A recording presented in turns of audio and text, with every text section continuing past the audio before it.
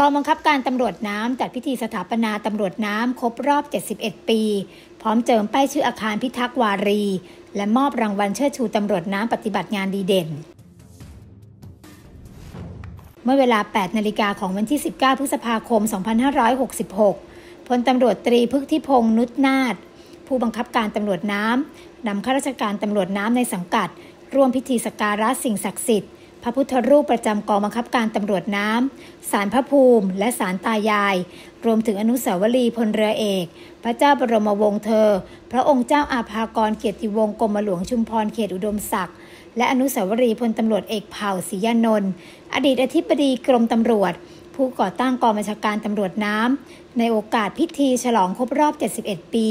วันสถาปนากองบังคับการตำรวจน้ำ ภายในพิธีได้เจ้าประคุณสมเด็จพระธีรยานมุนีเจ้าอาวาสวัดเทพศิรินทราวาสเป็นประธาน เจิมป้ายชื่ออาคารพิทักษ์วารี อาคารกองบังคับการตำรวจน้ำหลังใหม่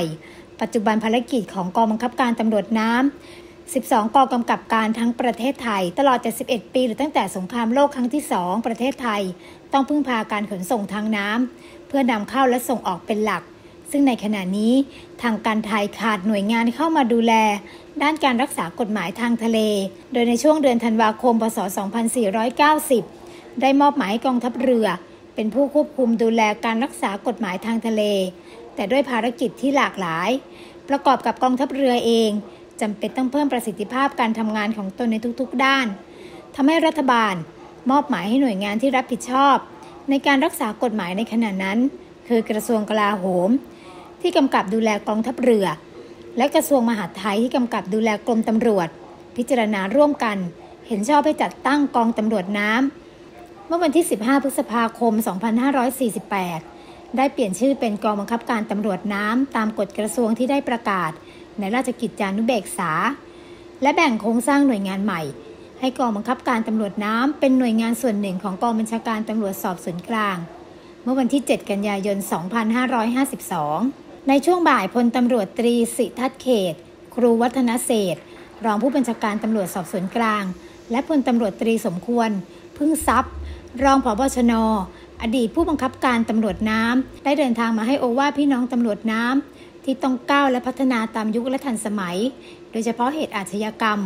ที่มีการพัฒนาและเปลี่ยนแปลงทุกรูปแบบ ทั้งนี้พลตำรวจตรีพึกทิพงศ์ผู้บังคับการตำรวจน้ำยังได้เป็นประธานมอบรางวัลข้าราชการตำรวจดีเด่น โดยมอบโล่7นาย ใบประกาศนียบัตร 33 นาย รวม 40 นาย และมอบทุนการศึกษาแก่บุตรข้าราชการตำรวจน้ำรวมทั้งสิ้น 422 ทุน1ล้าน25,000 บาท พร้อมกันนี้ภาคเอกชนเข้าร่วมสมทบทุนการศึกษาในครั้งนี้ด้วยกว่า 10 บริษัท และมีพิธีมอบเครื่องหมายนักปฏิบัติการใต้น้ำกิตติมศักดิ์จำนวน 50 นาย เพื่อสร้างขวัญกำลังใจให้กับผู้ใต้บังคับบัญชาอีกด้วย หลังจากนี้ทางกองบังคับการตำรวจน้ำเตรียมปรับปรุงจัดสร้างศูนย์อบรมองคาอารักษ์ที่อาคารหลังเก่าที่มีอายุกว่า 60 ปี โดยมีนายสุจินวาจากิจ รองผู้ว่าราชการจังหวัดสมุทรปราการ พร้อมหลายภาคส่วนเข้าร่วมพิธีกองบังคับการตำรวจน้ำยังได้เตรียมความพร้อมด้านกำลังพลยุทโธปกรณ์พร้อมให้ความช่วยเหลือประชาชนในช่วงฤดูฝนที่จะมาถึงนี้ ทั้ง 12 กองกำกับการ เพื่อช่วยเหลือประชาชนประสบอุทกภัยน้ำท่วมในแต่ละพื้นที่ไว้แล้ว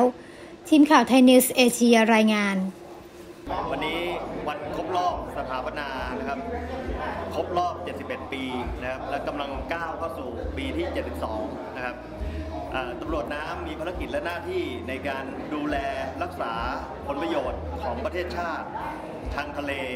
และพื้นที่น้ำบางส่วนนะครับไม่ว่าจะเป็นทะเลในพื้นที่ทะเลทั้งฝั่งอ่าวไทยฝั่งอันดามันนะครับในพื้นที่แม่น้ำอย่างเช่นแม่น้ำเจ้าพระยา แม่น้ำแม่น้ำโขงนะครับ ซึ่งตำรวจน้ำเนี่ยมีหน้าที่ในการในการดูแลรักษาผลประโยชน์ของประเทศชาตินะครับ ในปีนี้เนี่ยเราครบรอบ 71 ปีนะครับและกำลังก้าวเข้าสู่ปีที่ 72 นะครับ ซึ่งข้าราชการตำรวจน้ำทุกคนนะครับ มีความตั้งใจที่จะให้หน่วยของเราเป็นหน่วยหลักนะครับ ในการดูแลรักษาผลประโยชน์ ให้แก่พี่น้องประชาชนและประเทศชาติ